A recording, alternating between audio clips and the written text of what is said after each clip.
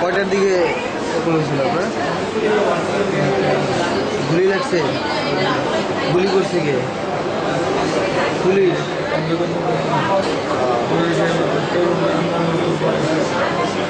আমাদের মতো বয়স।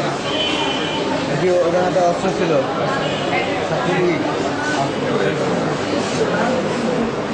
কয়টার দিকে? আনুমানিক রাত্রে তিনটার দিকে।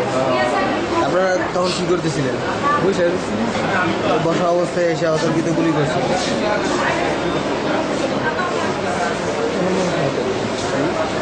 এটা আপনার ধারণা কেমন মানুষ আহত হয়েছে বা নিহত হয়েছে? অনেক আহত না মারা মারা গেছে অনেক?